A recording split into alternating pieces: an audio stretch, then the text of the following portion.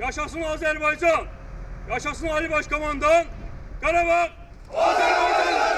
Azerbaycan birlikleri Ermenistan sınırında Laçin koridorunun başlangıcında kurulan sınır kontrol noktasında açılış töreni gerçekleştirdi. Törende Azerbaycan bayrağı göndere çekildi.